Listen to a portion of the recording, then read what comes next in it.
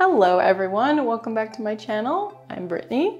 In today's video, I'm going to show you guys how I made the poolside pina colada bonbon from my Barbie box. I've seen this technique done a couple of times and I couldn't wait to give it a try myself.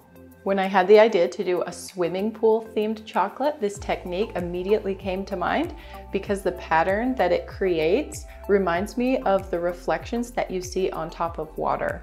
I've never seen it done with two similar colors. Usually I see it done with two really contrasting colors, which looks really cool. But for it to look like water, I thought that the colors needed to be close to the same and the top one needed to be a bit lighter. So I used a like a light sparkly blue for the the reflection pattern and a darker, brighter blue for the background. And before we get going, just a couple more things about the technique itself.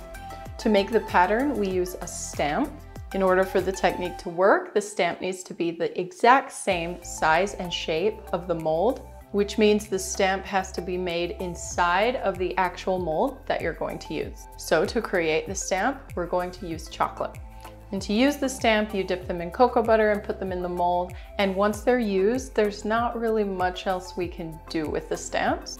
You could experiment with wiping the stamps off and reusing them, but I think eventually they would just get messy and maybe start to leave behind dry cocoa butters that you don't want inside your mold.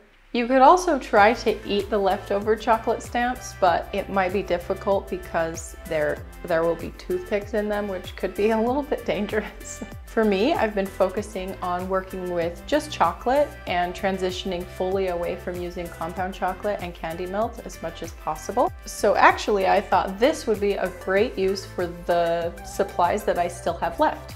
They aren't that great to eat anyway. Well, compound chocolate's pretty good, but especially candy melts.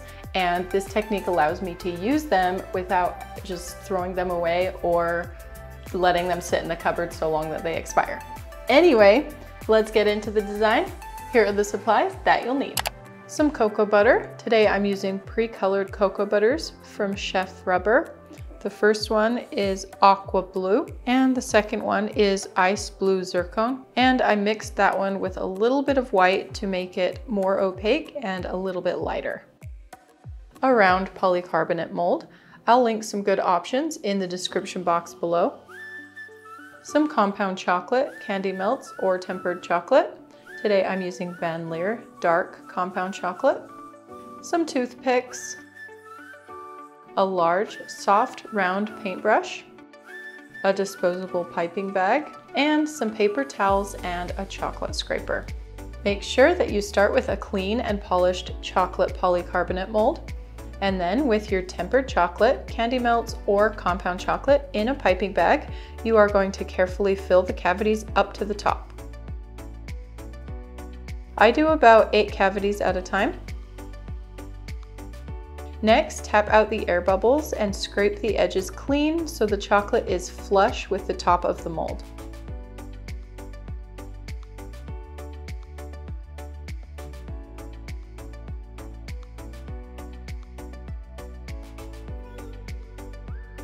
The reason I do about eight cavities is because I want the chocolate to have time to begin to set up so that it will keep the toothpicks standing up straight, but I don't want it to set up too quickly to where I can't get the toothpicks in at all. And I find that about two rows in the mold is just right for that. So once the chocolate reaches that perfect in-between consistency, I take two toothpicks and just put them down into the center. The goal is to stick them almost all the way to the bottom, but you just always want to be careful not to scratch your mold.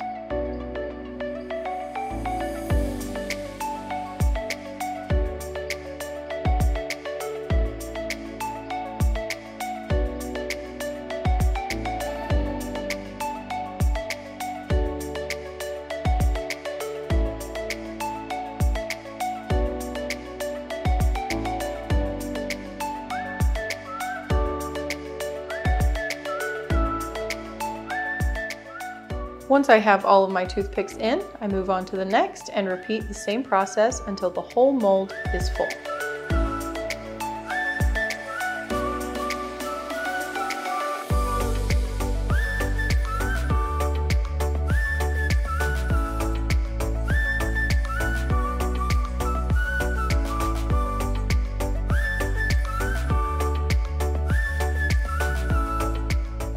Once you've got all your cavities filled and the toothpicks are in, you can put the mold in the fridge for about 30 minutes. Something to keep in mind is that you will want to use the stamps at room temperature.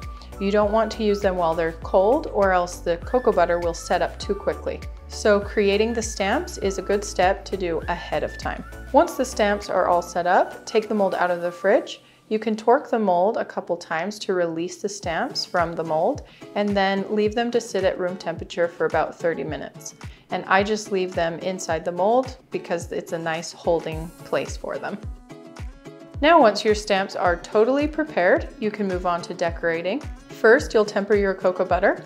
I've already done this, and for the first step, I'm using the ice blue zircon plus the white cocoa butter. To create the design, I take one stamp and dip it about halfway into my cocoa butter, and then I drip a bit off. Then I place it straight into the cavity and I give it a firm press down. I usually press until I see a little cocoa butter come out from one edge of the stamp and mold. Then carefully pull the stamp up. I use the toothpicks to help along with a finger on the chocolate to stabilize things and also to prevent accidentally spinning the stamp.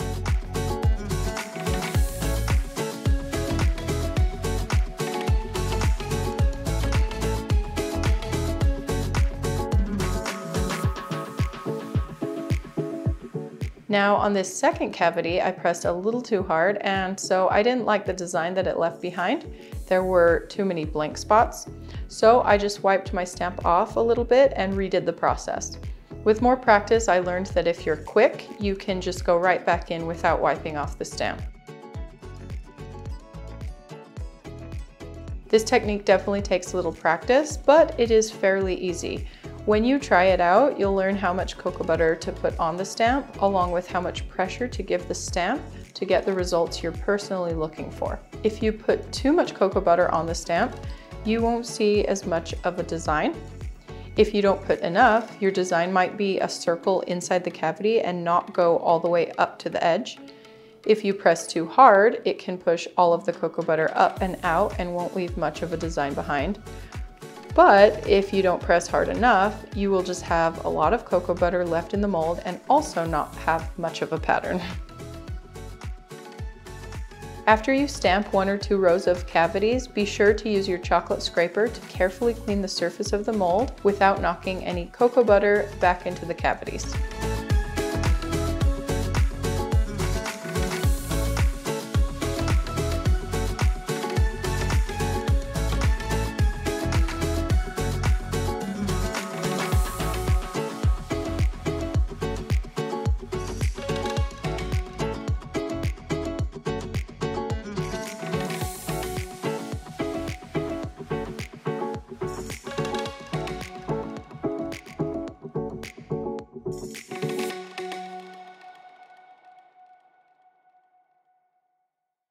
And here are all my used stamps.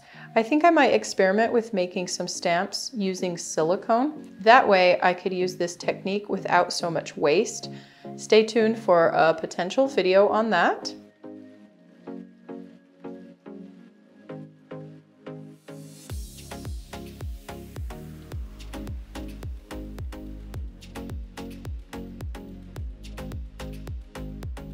Now I just add a background with my tempered aqua blue cocoa butter.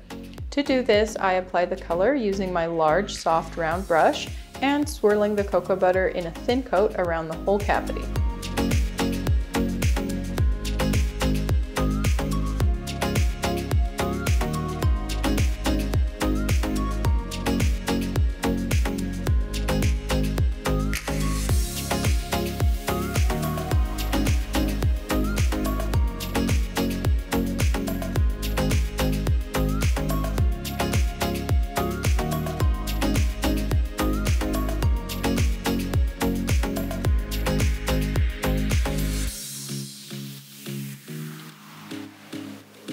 To be sure that my chocolate doesn't show through, I do two coats of this.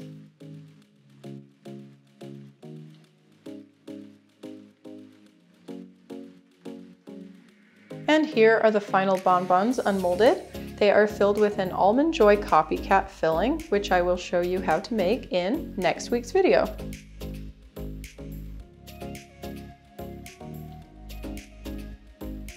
All right, guys, I hope that you enjoyed today's video and that you learned something new.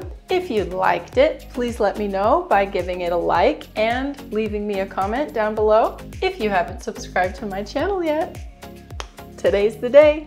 If you'd like to see something else that sweet, just click on one of these thumbnails. Thanks so much for watching today, and I'll see you soon. Bye!